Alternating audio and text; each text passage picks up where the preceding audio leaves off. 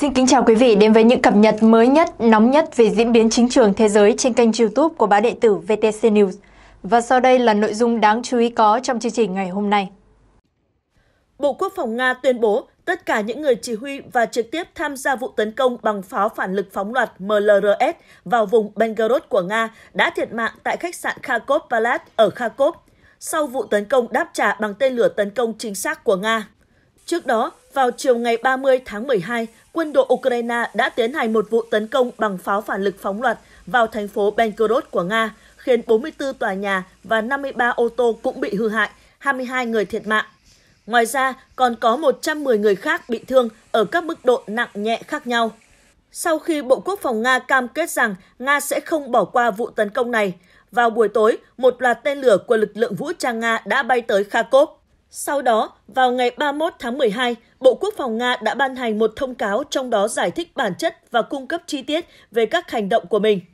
Cơ quan báo chí của quân đội Nga đưa tin rằng khách sạn Kharkov Palace ở thành phố Kharkov đã bị trúng đạn tên lửa dẫn đường chính xác. Kết quả là các nhân viên của Tổng cục Tình báo của Bộ Quốc phòng Ukraine và đại diện của lực lượng vũ trang Ukraine, những người trực tiếp tham gia chỉ đạo cuộc tấn công nói trên vào Belgorod, đang trú ẩn tại khách sạn này đã thiệt mạng. Theo đó, ngoài những nhân viên của các cơ quan công lực Ukraine, tại khách sạn bị tấn công còn có khoảng 200 binh lính nước ngoài đã và sẽ tham gia thực hiện các vụ phá hoại và tấn công trên lãnh thổ Nga. Sau vụ tấn công chưa từng có vào thành phố Belgorod của Nga, Tổng thống Vladimir Putin tuyên bố Moscow sẽ tăng cường tấn công các mục tiêu quân sự ở Ukraine. Ông Putin nói khi đi thăm một bệnh viện quân đội ngày 1 tháng 1, chúng ta sẽ tăng cường tấn công, không có tội ác nào nhằm vào dân thường mà không bị trừng phạt, đó là điều chắc chắn. Ông cho biết Nga sẽ tiếp tục tấn công các cơ sở quân sự của Ukraine. Ông nói, chúng ta đang làm điều đó hôm nay và ngày mai chúng ta sẽ tiếp tục. Phát biểu được đưa ra sau khi Ukraine cho biết Nga tấn công nước này với số lượng máy bay không người lái nhiều kỷ lục trong ngày đầu năm mới. Tổng thống Putin gọi cuộc tấn công vào Belgorod là hành động khủng bố và cáo buộc Ukraine nhắm vào giữa trung tâm thành phố, nơi nhiều người đang đi bộ trước đêm giao thừa. Ông Putin cũng đánh giá rằng Kiev chỉ là công cụ của phương Tây nhằm đối phó Nga. Ông Putin nói vấn đề không phải họ, phương Tây, đang giúp đỡ Kiev mà chính họ đang đấu với chúng ta. Họ đang giải quyết vấn đề của mình bằng đôi tay của Ukraine. Theo ông Putin, phương Tây đã giàn dựng gây ra xung đột giữa Nga và Ukraine. Tuy nhiên, mục tiêu của phương Tây đã thất bại khi không thể đánh bại Nga. Theo trang The Asian Times, tập đoàn chế tạo máy bay United Aircraft Corporation UAC của Nga đã bàn giao lô tiêm kích tàng hình thế hệ thứ 5 Su-57 cuối cùng cho Bộ Quốc phòng Nga theo chương trình sản xuất năm 2023. Trong năm 2023, UAC đã tăng cường khả năng sản xuất Su-57 và cải tiến dây chuyền lắp ráp máy bay. Công ty đã loại bỏ các nút thắt cổ chai không chỉ ở xưởng lắp ráp cuối cùng mà trong toàn bộ chu trình sản xuất. Việc mua sắm các bộ phận công nghệ cao từ các nhà máy của nhà cung cấp đã được sắp xếp hợp lý và các cải tiến về công nghệ lắp ráp máy bay đã bắt đầu. Ông Sergei Chemezov, giám đốc điều hành tập đoàn nhà nước Rostec, kiểm soát phần lớn ngành vũ khí của Nga đã ám chỉ rằng trong năm 2024, Rostec sẽ sản xuất gấp đôi tiêm kích Su-57. Theo chuyên gia, khi Nga tăng gấp đôi tốc độ sản xuất tiêm kích Su-57, không quân Ukraine sẽ bắt đầu cảm nhận được tác động của việc Nga triển khai máy bay này trong những tháng sắp tới. Với việc có thêm 15 máy bay được bổ sung trong năm 2024, số lượng tiêm kích tàng hình Su-57 có sẵn để triển khai hoạt động sẽ gia tăng nhanh chóng. Theo The Asian Times, không quân Ukraine sẽ bắt đầu cảm nhận được tác động của việc Nga triển khai Su-57 trong những tháng sắp tới.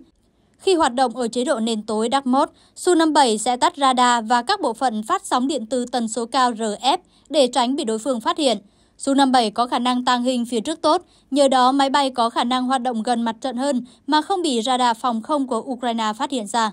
Trong khi radar tìm kiếm của hệ thống phòng không Patriot có thể phát hiện tiêm kích Su-34 của Nga hoạt động cách tiền tuyến 100 km, thì lại không thể phát hiện ra Su-57 dù chỉ cách mặt trận chỉ 25 km. Quan trọng hơn là Su-57 sẽ phát hiện phát xạ vô tuyến từ radar AN-MPQ-65 trước khi radar này có thể phát hiện phát xạ phản xạ từ Su-57, ngay cả khi radar Mỹ đang hoạt động ở trạng thái xác suất chặn thấp. Ngay khi Su-57 phát tín hiệu radar, tọa độ của radar sẽ được truyền qua liên kết dữ liệu an toàn tới tên lửa chống bức xạ KH-31P, được trang bị cho tiêm kích Su-35S hoặc Su-34, hoạt động tốt ở đằng sau chiến tuyến nằm ngoài phạm vi phát hiện của radar AN-MBQ-65. Vì vậy, radar AN-MBQ-65 sẽ bị phá hủy ngay trước khi hệ thống Patriot có cơ hội phóng tên lửa đánh chặn PAC-3 nhằm vào máy bay Su-57. Su-57 được thiết kế để tiếp cận không phận tranh chấp và tấn công mục tiêu bằng PGM tầm xa, kể cả bằng tên lửa mà không thể bị đánh chặn nhờ tốc độ siêu thanh và trạng thái tàng hình của máy bay. Các tên lửa hành trình tầm xa không tàng hình có thể được Su-57 phóng từ cự ly gần tiền tuyến, bao gồm KH-35UE với tầm bắn tối đa 260 km, tên lửa chống bức xạ siêu âm KH-31PD dùng để đối phó hệ thống phòng không với tầm bắn 250 km. Tên lửa KH-58USHKE được thiết kế để phá hủy radar xung và có thể đánh trúng mục tiêu trong phạm vi 245 km. Theo The Asian Times, tiêm kích Su-57 của Nga tuần tra dọc mặt trận sẽ vô hiệu hóa tất cả những lợi thế trên chỉ bằng một đòn tấn công. Thậm chí khi hoạt động ở trạng thái nền tối, Su-57 cũng có thể phát hiện và hạ gục F-16 của NATO ngay trước khi F-16 được cảnh báo về sự hiện diện của Su-57. Theo Top War, truyền thông Nga mới đây đã đăng tải đoạn video ghi lại cảnh quân đội nước này sử dụng bom lượn gắn mô đun để bắn nổ một hệ thống phòng không Iris-T của Ukraine. Vụ tập kích được thực hiện ở vùng Kherson, cách tiền tuyến khoảng 25 km, thời gian cụ thể không được tiết lộ.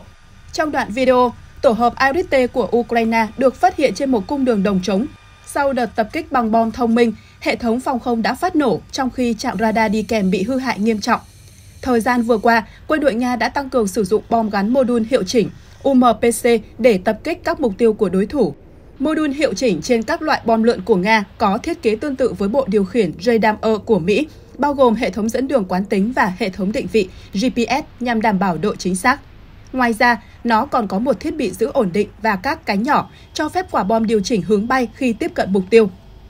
Trước đó, lực lượng hàng không vũ trụ Nga sẽ bắt đầu đào tạo hàng loạt phi công cách sử dụng bom gắn mô đun lên kế hoạch và điều chỉnh phổ quát trong vùng triển khai kế hoạch quân sự ở Ukraine.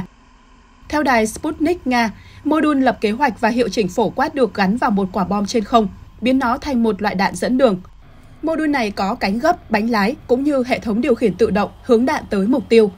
Với sự hỗ trợ của thiết bị này, bom lượn FAB-500 thông thường sẽ có độ chính xác rất cao. Hiện tại, các loại bom nặng 250, 500 và 1.500 kg được trang bị các mô đun này thường được triển khai từ máy bay ném bom tiền tuyến Su-34. Nguồn tin lưu ý rằng các cuộc thử nghiệm chiến đấu của bom với các mô đun điều chỉnh và lập kế hoạch phổ quát trong khu vực chiến sự đã chứng minh hiệu quả cao của các loại đạn này như chi phí thấp, giúp chúng loại bỏ các mục tiêu quân sự Ukraine trong quá trình tiếp xúc với độ chính xác cao. Mục tiêu điển hình của các cuộc tấn công bằng bom thông minh là nơi tập trung quân địch, công sự và sở chỉ huy. Việc Đức đã chuyển giao hệ thống tên lửa phòng không công nghệ cao Iris-T đầu tiên cho Kiev nhằm giúp bảo vệ các thành phố và quân đội Ukraine khỏi các cuộc tấn công đường không. Ukraine bắt đầu sở hữu một trong những hệ thống phòng không tiên tiến nhất thế giới để bảo vệ nước này khỏi tên lửa hành trình của Nga. Tên lửa mới có hiệu quả chống lại tất cả các loại máy bay, trực thăng, tên lửa hành trình, vũ khí dẫn đường, tên lửa đất đối không, tên lửa chống hạm, tên lửa chống radar và tên lửa cỡ nòng lớn. Nó cũng có xác suất tiêu diệt cao đối với máy bay không người lái, máy bay chiến đấu không người lái và các mối đe dọa cơ động nhỏ khác ở khoảng cách rất ngắn và tầm trung. Bộ trưởng Quốc phòng Ukraine Oleksiy Rednikov đã ca ngợi đợt giao hàng đầu tiên là kỷ nguyên mới của phòng không Ukraine và nói thêm rằng các hệ thống tương đương do Mỹ cung cấp cũng đang được triển khai. Ông Rafael Lott, chuyên gia quốc phòng tại Hội đồng quan hệ đối ngoại châu Âu ECFR nói rằng các hệ thống mới có khả năng tăng cường đáng kể năng lực phòng thủ của Ukraine, mặc dù chúng không phải là nhân tố thay đổi cuộc chơi như người Ukraine đang tự tin. Ông Loss phát biểu với tờ DVK khi họ, Ukraine, nhận thêm ngày càng nhiều hệ thống tinh vi hơn, có thể tích hợp vào hệ thống của mình, các cuộc tấn công tên lửa hàng loạt sẽ khó khăn hơn đối với người Nga và có nhiều khả năng là sẽ có ít mục tiêu dân thường và quân sự bị bắn trúng hơn. Tuy vậy, ông nói thêm rằng hệ thống này chưa từng được sử dụng trên chiến trường trước đây. Chuyên gia Loss cũng nói rằng việc chuyển giao Iris-T là một tín hiệu quan trọng cho thấy nỗ lực dài hạn của NATO nhằm trang bị cho Ukraine các loại vũ khí tốt hơn do phương Tây sản xuất. Hệ thống Iris-T trang bị cho Ukraine được sản xuất bởi DL Defense, có trụ sở ở Oberlingen, miền Nam Đức, cung cấp năng lực che phủ tầm trung ở độ cao lớn cho các thành phố nhỏ và lực lượng quân đội. Mỗi hệ thống bao gồm 3 phương tiện, một bệ phóng tên lửa, một radar và một radar điều khiển hỏa lực, tích hợp hậu cần và hỗ trợ. Các tên lửa được cho là có tầm bắn 40 km, độ cao tối đa 20 km, được trang bị radar tầm xa 250 km, sử dụng hình ảnh hồng ngoại để xác định mục tiêu. Tên lửa cũng có thể triển khai 360 độ xung quanh bệ phóng. Theo nhà sản xuất DL, Arite, hoạt động hiệu quả nhất khi trở thành một phần của hệ thống phòng không nhiều lớp, chẳng hạn như kết hợp với hệ thống phòng thủ tên lửa Patriot Park 3 của Mỹ, vốn cung cấp khả năng phòng thủ ở độ cao tối đa lớn hơn.